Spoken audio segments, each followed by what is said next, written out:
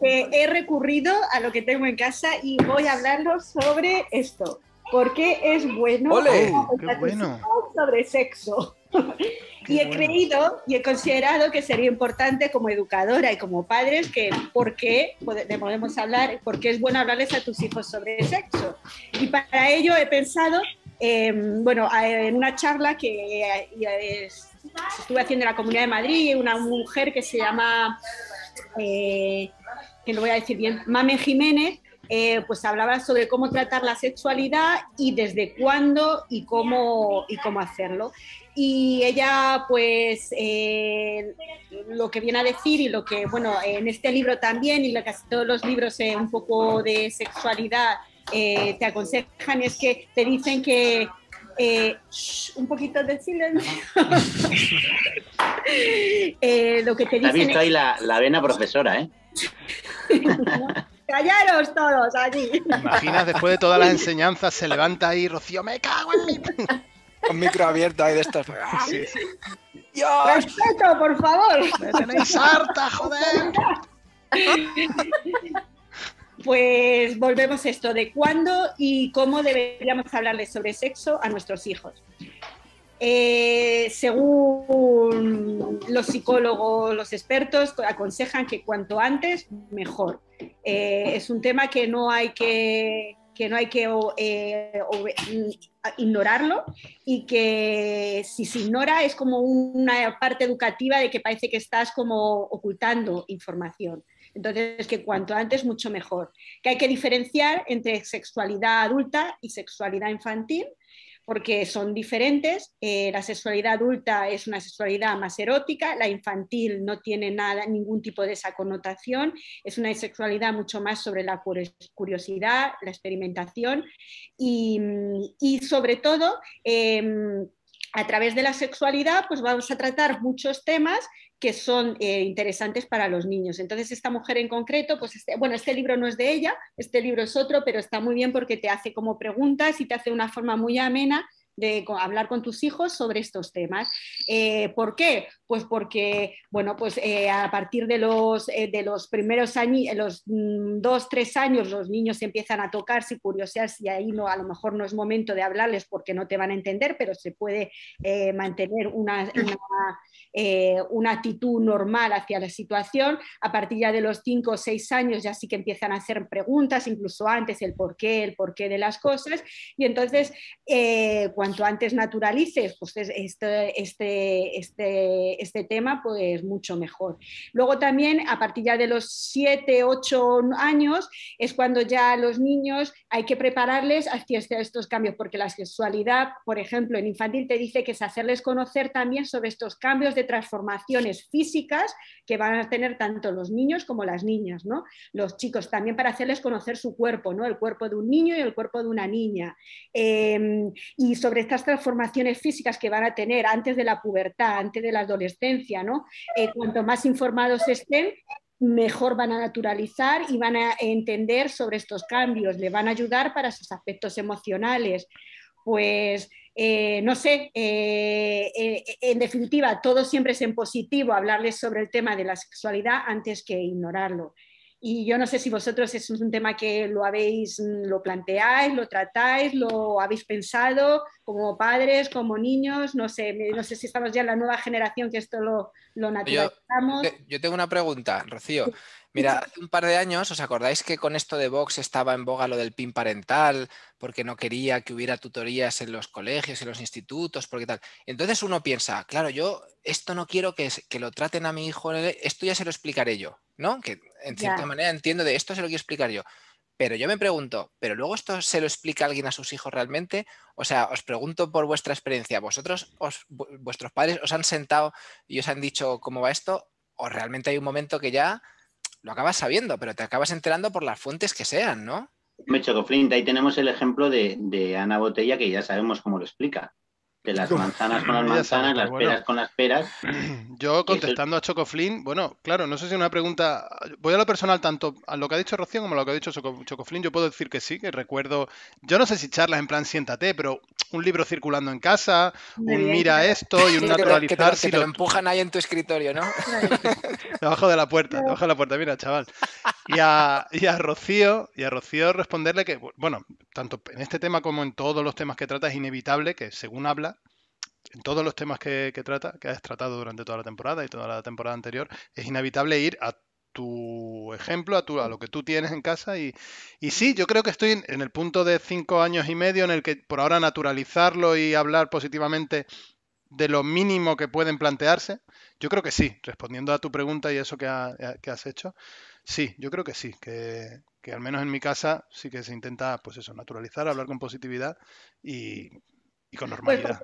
Yo, por ejemplo, estaba cogiendo aquí puntos que aconsejan de por qué se debería hablar del tema y te dice, bueno, pero las transformaciones físicas, sobre todo para que hagan conocer que somos diferentes, que tienes diferentes eh, partes sexuales, cómo funcionan, también por cómo se generan los niños, eh, también para hablarles sobre algo muy importante, sobre todo los abusos y el tema de que quién te toca y quién no te toca, ¿no? Hacia quién permitir, cómo, cómo tocarte y cómo no tocarte, ¿no? O sea, todos estos temas también hay que hablarlos. Eh, em, los diferentes tipos de familias que puedes generar, ¿no? Otras, que no solo es un tipo de familia de padre y madre, sino que hay diferentes tipos de, de, de- de enlaces o como le queremos llamar, de, de familias. Es un tema que te abarca muchos temas educativos para que el niño pues normalice cosas Ah, otro tema muy importante que ya es más para la adolescencia sería pues para prevenirle sobre todo, si tú no, es lo que tú has comentado ahora mismo, Chocoflin, llega un momento que se van a enterar sí o sí, si no es por internet, por los amigos o por otros. Cuanto tú le des mejor información, una información que venga de ti, de los padres, de gente de confianza, que sea segura, eh, mucho, son niños que se han demostrado que luego van a tener menos problemas, pues por ejemplo, de embarazos o de contagios de enfermedades, porque van a saber utilizar los preservativos, es decir, van a estar más preparados. Y no por eso quiere decir que van a hacer más o menos tal, no, están preparados para lo que se va, lo- la, la necesidad. Porque yo también leí una cosa sobre una parte emocional, o sea, no, no solo esa parte práctica de la sexualidad en adolescentes, de prevención de enfermedades de transmisión sexual, de eh, prevención de embarazos no deseados, sino también esa parte emocional de que muchas veces los adolescentes aprenden de sexo a través de la pornografía. Eh, el acceso que se tiene a la pornografía debido a, a Internet pues es mucho mayor que en otras generaciones. Y eso genera eh, conflictos eh, en las relaciones eh, sexuales entre los jóvenes a- a- en la fase en la que les toca empezar a experimentar.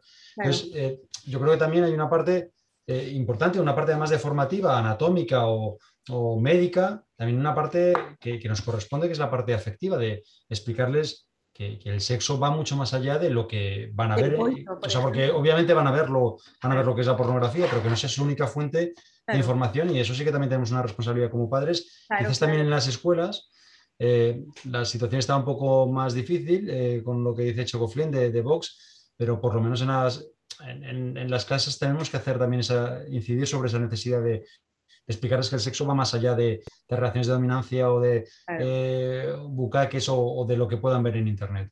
Claro, efectivamente, eso es. Y que hay cosas que no gustan y no las tienes que aceptar y que hay cosas que, que- te tienes que cuidar, claro, eso es parte de la información. Y, y luego hay una pregunta, ¿qué hacemos si se toca? Eso me ha parecido gracioso. Cuando empiezan los niños a tocarse, a curiosear, ¿qué, ¿cómo actúas como padre o como, o como, bueno, como educador, ahí lo dejo un poco más, pero sobre todo como padre, pues el consejo que da esta mujer me ha parecido muy sencillo muy sencillo, privacidad e intimidad. Es decir, hacerles en ningún momento hay que negar, hacerlo como que es algo malo, sino como que si te estás tocando es algo natural porque es parte de tu exploración, observación. Hablo de edades de 5, 6, 7, 8 años, 5, que están ahí, o menores, que están interesados en tocarse, pero decirle hazlo íntimamente, eso es algo íntimo, tómate mm, algo privado y, y- y no Por otra parte, lo estarás deseando, que sea algo privado. también, ¿no? Para no. Y no sé, me parece Muy que es un tema que, que, podrí- que, se debería pues, introducir siempre en, la- en las escuelas, en las Bueno, aulas. ahí es donde entra el debate Vox, lo que ha dicho Choco Flynn, y yo me quedaba pensando, no, no, si, si lo- los de Vox no es que en casa no, no, se, no, no les den este tipo de educación a su hijo, lo que pasa es que los simpatizantes de Vox muy probablemente le darán, le darán la vuelta y harán un peras y manzanas de Ana Botella y, y ya tenemos Claro, el pero, problema montado, ver, no- porque no solo- vetan que se les den en clase y luego le dicen lo de las peras y las manzanas y en fin. Sí, lo que no quieren, lo que no quieren, lo que no quieren los de Vox es que nadie le enseñe a su hijo que lo que hace esa gente no es de pervertidos degenerados. Claro. Eso es lo que no quieren que les llegue en el colegio. Eh, Ellos le van a enseñar a su hijo que esto es moralmente condenable y no quieren que nadie les llegue una versión diferente del, del asunto. Pero yo creo que ahí es donde la educación tiene que tener una base democratizadora, eh, obviando que vengas de una familia musulmana ortodoxa o vengas de una familia eh, católica ultraconservadora o evangélica. No, y es, y es habría que necesario un que... poco que no tengas control total sobre lo que aprenden tus hijos, porque tú nadie nadie pone en cuestión que un padre tenga derecho a prohibir que su hijo aprenda matemáticas. A nadie se le ocurre que eso sea un derecho inalienable de los padres. Pero sobre otros asuntos que son trascendentes para su vida diaria sí que Muy sí que nos tenemos que muy meter. cierto. No me parece normal. Buena muy reflexión. cierto. Sí, sí. Que mm, mm, Una cosa, que... antes de terminar, os quiero, os quiero recomendar un, eh, que es un libro que seguramente lo conoceréis, vosotros que algunos sois educadores y todo esto, que va de. Es súper. Es buenísimo el libro, se llama De dónde venimos. No sé ¿de si lo conocéis. Toma nota. De. Peter Mail. Sí, es Y que es- de hecho es creo... buenísimo pero es ese muy libro. pero es muy antiguo. Muy antiguo. Claro, es que me parece que ese es el libro que yo tenía en mi casa y que me es el deslizaron mis padres. Ese por libro que circulaba. entre comillas.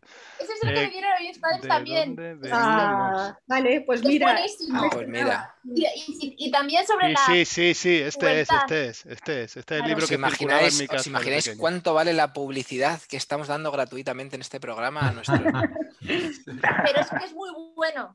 Se puede hacer publicidad. Y se puede Pues comprar en el corte inglés por 17.95. Venga ahí. ¿De dónde venimos? Pues nuestra página web, Eh, eh, que tenemos la hacer sección una de... página muévete a tu bola y te hacemos un descuento de... Amigos Sí, y amigas, de la camiseta del Independiente de Vallecas, ¿de dónde venimos? Un euro de comisión. ¿eh? pues mira qué bien se ha cerrado el círculo. ¿eh? El libro es el que Qué estaba guay. en mi casa de el que he mencionado Qué antes. bueno, Bueno, qué bueno.